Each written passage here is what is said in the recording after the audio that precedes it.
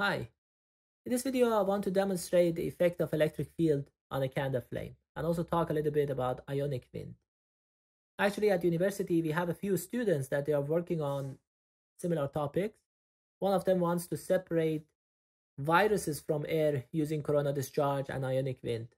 And two of them, they want to improve efficiency of a ionic propulsion system. And one of them wants to model the phenomena. So because of that, I decided to make this very simple setup at home and demonstrate how the electric field impact a candle flame, which is actually related to ionic wind. First, I will demonstrate the phenomena and then we will see how to prove if there is a wind between the electrodes. Okay, so I turn on the high voltage power supply, but before that, here is the power supply, high voltage power supply. I put the schematic on the screen. Basically, it is made of an oscillator circuitry together with a flyback transformer. The voltage would step up and we will have high voltage between the electrodes. Now the output of this flyback transformer is a rectified uh, voltage because inside the transformer we have a rectifier. But the output is not a total flat DC. It's basically a pulsating unipolar voltage. Alright, so let me I turn on the voltage now. You notice that when I apply high voltage, the candle flame is distorted. Now I decrease the distance between the electrodes. We know that the electric field is voltage divided by distance, so the electric field increases between the electrodes now. And you see that the impact is very violent.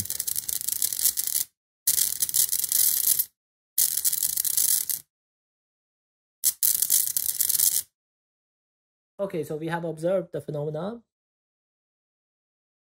The idea is that inside the candle flame, we have positive and negative ions.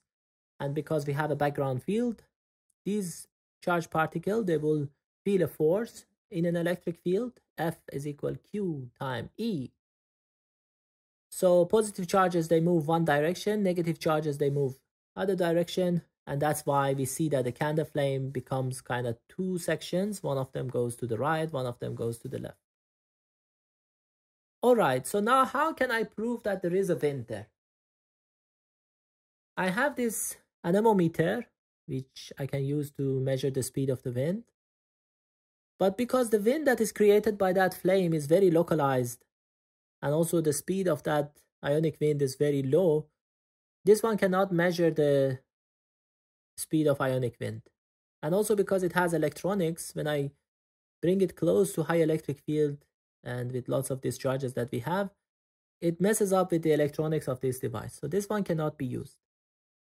Some anemometer, they use the concept of hot wire. Uh, with those, we can actually measure the wind speed, but I do not have them at home.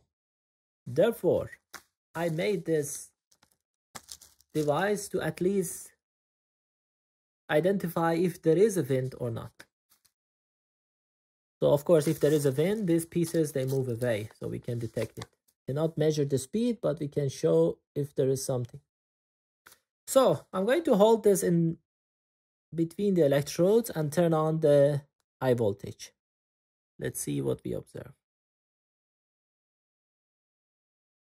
We observe that these pieces of paper, they will be attracted to the electrode. Suggesting that suggesting that there is a wind in this direction. I can repeat the experiment with the other direction.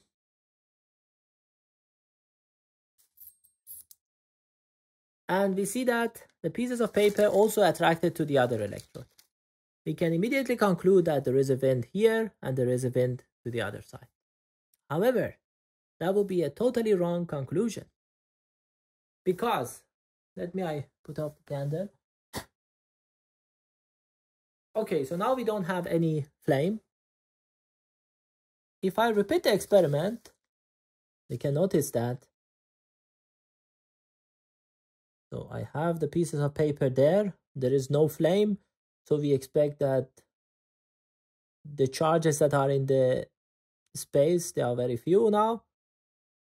But when I apply high voltage, again, these pieces of paper, they will be attracted to the electrode. So, and the reason is very clear. Because when we apply high voltage to the electrodes, positive charges will sit on one of them, negative charges will sit on another one. And you remember from primary school that if you rub a ruler to your hair, the ruler can attract pieces of paper. Basically, the reason that these paper will be attracted to the electrodes when I apply high voltage is because these electrodes are getting charged and it attracts the pieces of paper. So with this experiment, actually, I could not clearly demonstrate that there is a wind. It shows the importance that sometimes experiments may show some results, but the reason is something different. So you have to be careful. Okay, so what can I do? I will repeat the experiment, but this time I will hold the paper behind the electrode. With the same reasoning, because the charges are on the electrode, so I expect that this piece of paper will be attracted to the electrode. Let's see. That is correct. So all piece of paper, they attracted to the electrode. Okay, so this is clear. Now I will turn on the candle. and I will do the experiment again. Wow, the candle is now very, has a very large flame. Okay, so let us see what happens. I will also decrease the distance to increase the electric field, intensify the phenomenon. So if I turn on the high voltage now,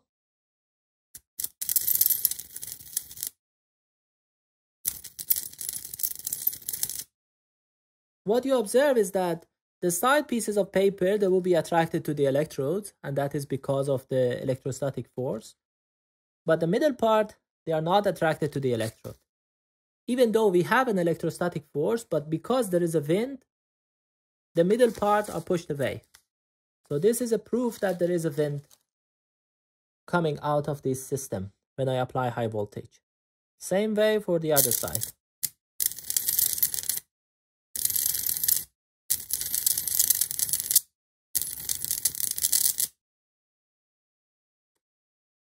Another way to demonstrate this is to hold your hand here. Now I do not feel a lot of um, heat. I feel a little bit of heat because of radiation. But when I turn on high voltage,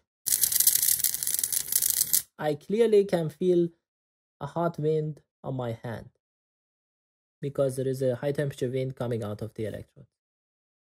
So with this, I have demonstrated how the electric field impacts a candle flame. I hope that you learned something new.